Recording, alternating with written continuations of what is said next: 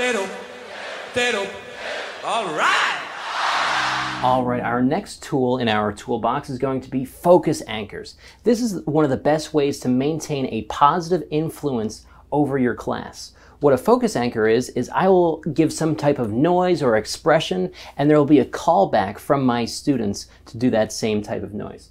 So in a lot of jujitsu schools, you already have one of these focus anchors built into your classes when the instructor usually shows the technique, you go one, two, three, clap, and then everyone claps, and it changes the focus from them watching the technique to them being able to apply the technique. And there's plenty of focus anchors, guys.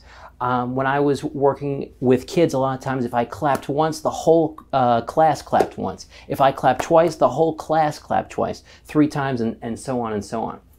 Another one of my favorite ones is I would say, eyes on who? And the students would say, eyes on you. And this is a great way of class is getting out of control. You use a focus anchor to immediately get them back under control. Now, this is not just used in teaching, this is used in all public speaking. Probably the most famous focus anchor of all time was used by Freddie Mercury when he comes out and he goes, And then he brings the mic to the crowd, and the whole crowd, thousands of people say, Ayo. And then, Ayo. And then the whole crowd does the same thing. And he was able to take those probably hundreds of thousands of people and all focus them in on his music while he was doing his thing. That's an extremely powerful focus anchor that he used. Also, you see, even if you're in church, they use it where they say something like, May the Lord be with you, and then everyone else says, and also with you.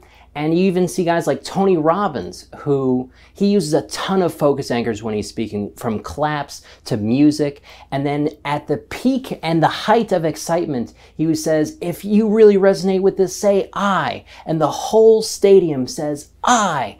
And it's a, a really powerful, transformative experience. So make sure you are watching. Anyone who's good at public speaking will be able to use these focus anchors to snap everybody's attention back onto them.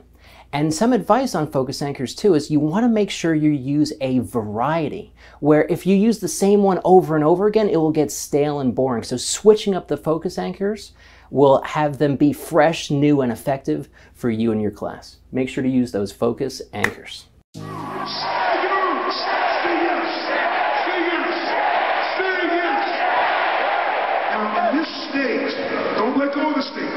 Like a muscle.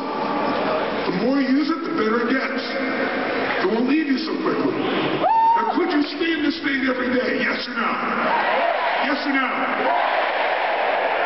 You're saying that now. But then you're going to go home.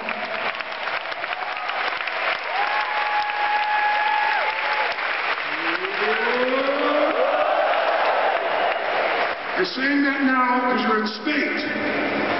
But you're going to go home and you're going to be like this for a while. But gradually, many of you will not stay like this because you went to the gym for one weekend. But it's even worse than that. You're going home to spend time with people